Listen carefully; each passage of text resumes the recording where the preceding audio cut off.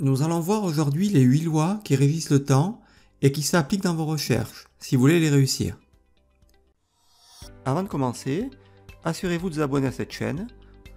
Cliquez sur le bouton rouge S'abonner, puis sur la petite cloche pour être prévenu des futures vidéos sur la chaîne. La première des lois, la loi de Parkinson. Selon cette loi, plus on dispose de temps pour réaliser une tâche, plus la tâche prend l'ensemble du temps disponible.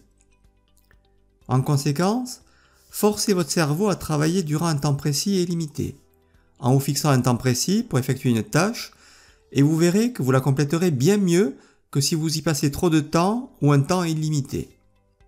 En effet, en vous fixant un temps précis, votre cerveau mettra tout en œuvre pour terminer la tâche dans le temps imparti, car il est programmé pour compléter ce qui manque, ce qui est incomplet, et à terminer. En fixant un temps précis de travail pour réaliser une tâche, une action, votre performance sera bien meilleure. Par exemple, fixez-vous l'objectif de réaliser votre résumé, l'abstract, en une demi-journée. Si vous vous dites que vous allez utiliser toute la journée, voire deux jours pour le faire, eh bien vous allez l'utiliser ces deux jours. Mais sans être forcément plus productif et efficace. La deuxième loi, la loi de Murphy. Nous avons tendance à sous-estimer systématiquement le temps nécessaire pour réaliser une tâche. Plus globalement, on sous-estime ce que l'on peut faire à long terme et on surestime ce que l'on peut faire à court terme.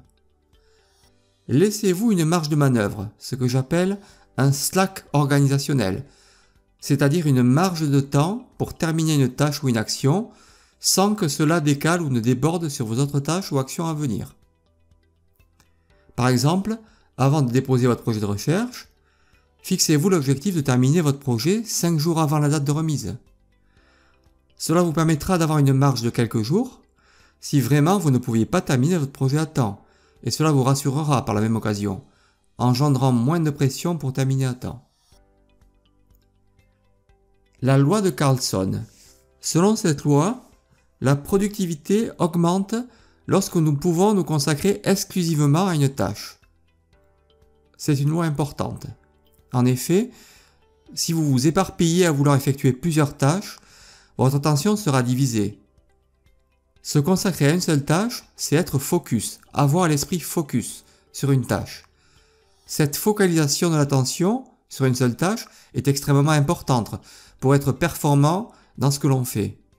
Ne croyez pas que l'on soit multitâche, c'est vraiment un leurre. Si vous faites plusieurs choses à la fois, vous ne ferez que tout moyennement. Essayez de regrouper les tâches qui sont homogènes et limiter les interruptions. En effet, si vous êtes constamment interrompu, il est très difficile de rester focus sur ce que l'on a à faire. Car pour nous remobiliser dans une tâche interrompue, il faut bien 5 minutes pour s'y remettre. En outre, on désigne l'effet Zeigarnik, la tendance à mieux se rappeler une tâche qu'on a réalisée si celle-ci a été interrompue, alors qu'on cherche par ailleurs à la terminer le fait de s'engager dans la, réalisation d'une tâche crée une motivation d'achèvement qui resterait insatisfaite si la tâche était interrompue ou non achevée. C'est la raison pour laquelle on se souvient plus d'une tâche que l'on n'a pas pu terminer, ce qui engendre une frustration. Donc focalisez-vous sur une tâche à faire en éliminant les distracteurs. Par exemple, coupez vos téléphones et les notifications de vos réseaux sociaux et terminez ce que vous avez à faire. Abordons maintenant la loi de Pareto dite loi 20-80 ou 80-20. Vous en avez probablement entendu parler. 80% de notre temps est pollué par des tâches secondaires qui ne contribuent qu'à 20% de nos résultats. Dit autrement, la majorité des résultats ou des impacts sont dus à une minorité des causes. Concentrez-vous sur l'essentiel, sur ce qui est productif et vous fait avancer. Déléguez si besoin. Par exemple, dans un protocole de recherche en doctorat, peut-être pouvez-vous vous faire aider par des étudiants de licence ou de master. Autre exemple, si vous devez passer beaucoup de temps à apprendre à manipuler un logiciel de traitement de données que vous ne maîtrisez pas, faites-vous aider par quelqu'un qui maîtrise le logiciel et qui pourra vous aider. Je ne dis pas que vous ne devez pas apprendre à utiliser de tels logiciels, mais concentrez-vous sur ce qui est productif et vous fait avancer dans votre projet de recherche, jusqu'à sa remise. Voyons maintenant la loi de Laborie. Par paresse intellectuelle, nous avons tendance à commencer par le plus facile et à reporter le plus difficile. C'est la loi dite du moindre effort. Commencez toujours votre journée par la chose la plus difficile et la plus ingrate à effectuer. Il faut savoir appliquer le principe de la sélection différée, en effectuant toujours la tâche la plus difficile d'abord. L'agréable est fait plus tard, comme une récompense finalement. Par exemple, si votre directeur vous a demandé de l'appeler et que vous redoutez de le faire, ne repoussez pas l'échéance en y pensant toute la journée et en vous demandant ce qu'il veut bien vous dire. Ceci est un exemple, bien évidemment. Toutes les tâches qui vous tracassent et qui sont le plus difficiles à faire devraient être faites en priorité, de manière à vous libérer l'esprit.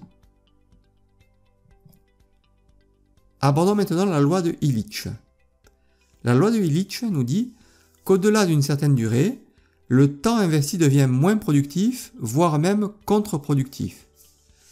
Cette loi peut se vérifier lorsqu'un étudiant travaille des heures sans faire de pause, et qu'au bout d'un moment, il ne peut plus avancer et reste bloqué dans la rédaction de son mémoire ou de sa thèse. Pour contrecarrer cette loi, on préconise souvent de faire des sessions de travail d'une heure et demie, 90 minutes, et de faire une pause de 10 minutes, un quart d'heure. Cela vaut pour les étudiants qui ont à mémoriser leurs cours, mais également pour ceux qui ont à produire et à écrire leur mémoire ou leur thèse. Il faut savoir s'arrêter, faire des pauses et y revenir par la suite pour avoir un peu plus de recul. Évitez des créneaux de plus de 90 minutes sur une même tâche. Voyons maintenant la loi de Taylor. Nous devons cette fameuse loi à Frederick Winslow Taylor, fondateur de l'Organisation scientifique du travail, l'OST. Alors il est possible d'avoir deux façons de comprendre la loi de Taylor. Tout d'abord, un mauvais ordonnancement des tâches à effectuer augmenterait le temps de traitement de ces tâches. Dit autrement, l'ordre dans lequel nous effectuons une série de tâches influence le temps qu'elles nous prennent. En conséquence, dans la poursuite de la loi de Laborie, privilégier les tâches importantes puis celles qui le sont moins. La deuxième façon de comprendre cette loi. Le moment choisi n'est pas forcément celui où on est le plus efficace. Il faudrait donc trouver le rythme le plus naturel possible pour effectuer une tâche. Cela fait inéluctablement appel au principe des rythmes biologiques. En ce sens, certains seront plus aptes à mener leurs tâches le matin, la majorité des gens, alors que d'autres sont dits du soir, voire de la nuit, et seront plus efficaces dans ces tranches-là. De mon côté, je me sens plus efficace le matin, après une bonne nuit de sommeil, mais chacun a son propre rythme. Trouvez bien le vôtre et calez-vous dessus. Cela implique de bien se connaître et de comprendre sa courbe d'efficacité. En outre, il paraît que les heures les moins productives se situent après le repas du midi et ce jusqu'à 15 heures. Vous pourriez en profiter pour effectuer des tâches peu importantes et qui ne mobilisent pas ou peu vos ressources cognitives. Abordons maintenant la loi de Fraisse. La loi de Fraisse nous dit que plus une activité est intéressante, plus le temps passe vite. Cela vous évoque probablement ce que l'on connaît sous l'appellation d'état de flow, d'état de flux, ou d'expérience optimale, ou être dans la zone, décrite par Mihaly, Csikszentmihalyi dans Vivre, la psychologie du bonheur. C'est un état mental atteint par une personne lorsqu'elle est complètement plongée et immergée dans une activité et qu'elle se trouve dans un état maximal de concentration, de plein engagement et de satisfaction dans son accomplissement.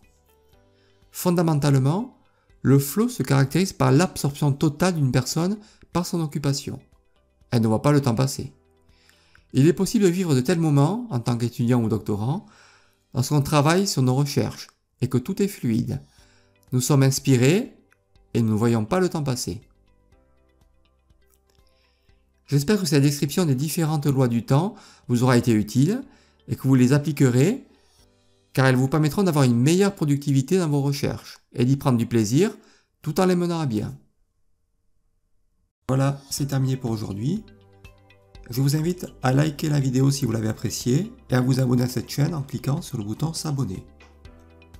Je vous dis à très bientôt pour une nouvelle vidéo. Merci.